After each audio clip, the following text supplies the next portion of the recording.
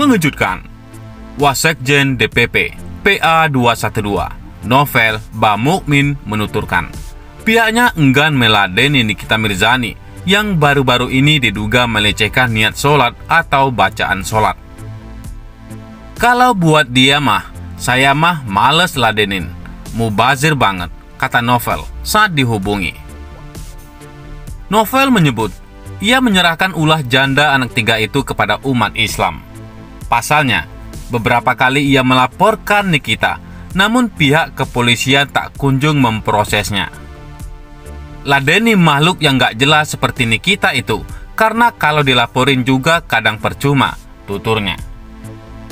Novel yang pernah berseteru dengan Nikita Mirzani ini lantas menyinggung kasus penista agama yang melibatkan Muhammad Kece yang digebukin sesama tahanan akibat ulahnya menista agama. Seperti si kece, walau sudah di dalam tahanan, tetap saja kena bogem, sampai bonyok, bahkan diblepotin kotoran manusia, ujarnya. Untuk menghindari itu semua, sebaiknya aparat turun tangan untuk segera proses makhluk yang gak jelas seperti itu, tuturnya. Untuk diketahui, Nikita Mirzani membuat heboh publik dengan video dirinya yang membaca doa niat sholat.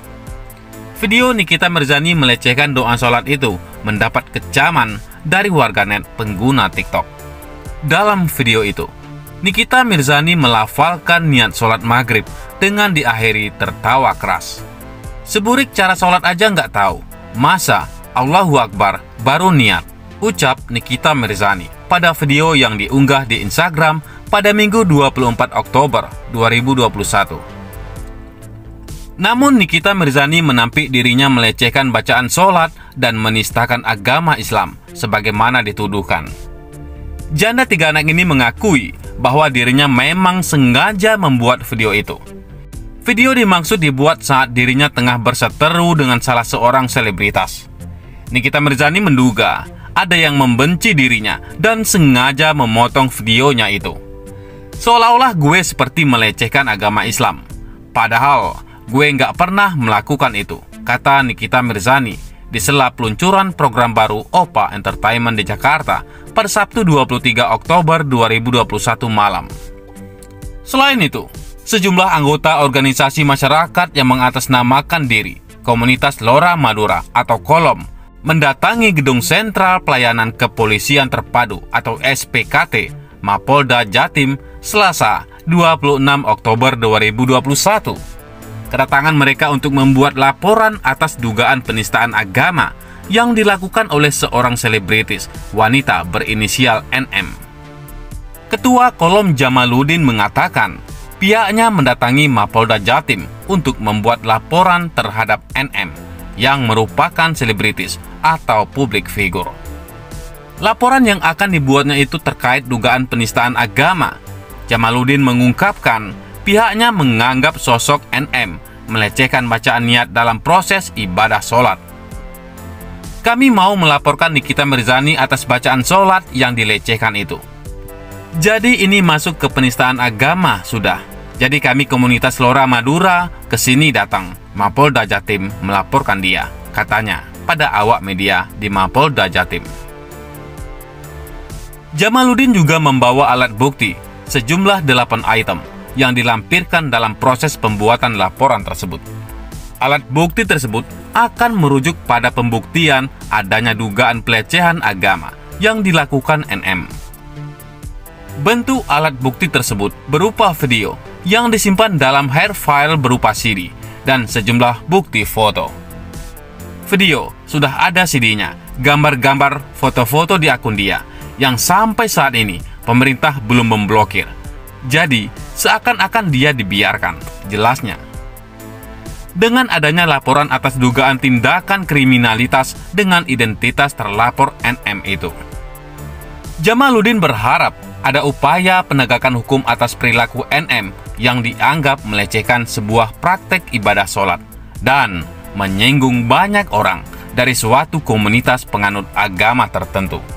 Karena dia sudah menentang juga seluruh umat Islam yang ada di Indonesia untuk dilaporkan. Katanya, seakan-akan dia kebal hukum, ujarnya. Jadi, kami selaku umat Islam, komunitas Lora Madura, sangat sakit hati terhadap perilaku dia yang sudah membuat mainan bacaan sholat maghrib, tambahnya. Selain itu, Jamaluddin berharap pemerintah dan aparat menegak hukum untuk segera menindaklanjuti keberadaan akun medsos milik NM secara tegas dengan cara menutup akun tersebut. Jikalau tidak segera ditindaklanjuti dengan segera melakukan penindakan hukum secara tegas. Ia pun mengatakan bakal melakukan aksi demonstrasi. Ia bukan hanya diblokir, tapi harus ditetapkan sebagai tersangka kalau dalam waktu dekat Polda Jatim tidak memanggil dia dan menetapkan sebagai tersangka, maka kami akan datang ke sini secara besar-besaran untuk mengadakan aksi, pungkasnya. Sekitar pukul 14 waktu Indonesia Barat, Jamaluddin dan anggota kolom lainnya menuju ke ruang Subdit 5 Cybercrime di Treskrimsus Mapolda Jatim untuk berkonsultasi dengan petugas mengenai upaya pelaporan atau pengaduan tersebut. Kemudian, sekitar pukul 16 lewat 5 waktu Indonesia Barat, berkas pelaporan atau pengaduan yang berjumlah 8 item barang bukti tersebut telah diserahkan kepada pihak petugas di Treskrimsus Polda Jatim. Kemudian, hasil penyerahan berkas itu memperoleh timbal balik berupa memo tanda terima berisikan surat dari kolom bernomor 005 tanggal 25 Oktober 2021 perihal pengaduan pelecehan agama dan petugas menerima bernama Sumini berstempel basah bertuliskan di Treskrimsus Polda Jatim. Sementara itu, NM telah membuat klarifikasi atas viralnya video miliknya di sejumlah akun medsos yang terlanjur disalahartikan sebagai penistaan agama. Klarifikasi tersebut ditulis di dalam unggahan akun IG resmi miliknya bernama Nikita Mirzani Mawardi 172 pada Sabtu 23 Oktober 2021 kemarin. NM menuliskan klarifikasi tersebut disertai 5 item video pendukung. Item video kelima yang disertakan NM dalam postingan tersebut merupakan video asli dan utuh yang digunakannya untuk membantah video viral yang cenderung menyudutkannya.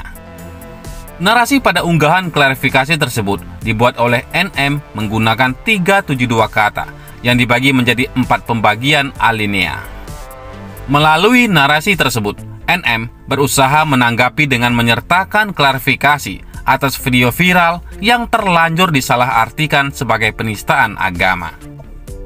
Dikarenakan sudah heboh gosipnya tentang saya, penista agama dan lain-lain lah, jadi perlu saya luruskan ya, walaupun nggak penting-penting banget, tulis NM. NM menganggap penggalan video yang viral itu sengaja dibuat-buat oleh oknum yang tak bertanggung jawab yang menyudutkan pribadinya. Saya baca beberapa di akun-akun gosip murahan, di akun geng sampah dan di akun-akun para kadrun ini menggiring opini dengan video yang mereka potong sendiri. Mereka posting sendiri, sehingga banyak sekali netizen ikut-ikutan berkomentar seolah-olah iya aja, saya ini menista. Apalagi narasi dari sebut nama media yang menurut saya sekarang pantas untuk stasiun TV besar. Itu kata orang ya, terangnya. Slide 1, 2, 3 adalah orang-orang yang mengerti sekali dengan agama Islam, sedang ceramah ditonton banyak orang. Kok kalian gak pernah bilang mereka menghina atau menista? Agama Islam, padahal cara mereka ngomong pun mirip dengan saya, tambahnya. NM juga menjelaskan, video yang viral tersebut merupakan video potongan atau tidak utuh seperti video aslinya, dan video asli yang dimaksud NM dibuat pada tiga bulan yang lalu. Slide 4 itu video saya yang dipotong di bagian yang saya sedang baca niat sholat. Karena sedang memberikan contoh. Kalau sholat itu nggak boleh dimain-mainin. Kok kalian pengikut Dajjal atau Kadrun dan para pembenci saya mengiring opini seolah-olah saya ini menistakan agama saya sendiri. Kalian ini banyak sekali waktu untuk membuat-buat berita untuk menjatuhkan saya. hanya karena saya selalu berbicara lantang dan selalu suka menyuarakan kebenaran. Kalau kalian ingin menjatuhkan saya, carilah berita yang fresh, jangan dipotong-potong itu mah basi. Dan video itu diambil tiga bulan yang lalu, waktu saya sedang berseteru dengan si Burik, ungkapnya. Kemarin, NM menjelaskan pada slide kelima bahwa video tersebut merupakan video utuh yang menjadi bantahan atas tuduhan-tuduhan miring yang cenderung menyudutkannya. Bagaimana menurut pendapat Anda?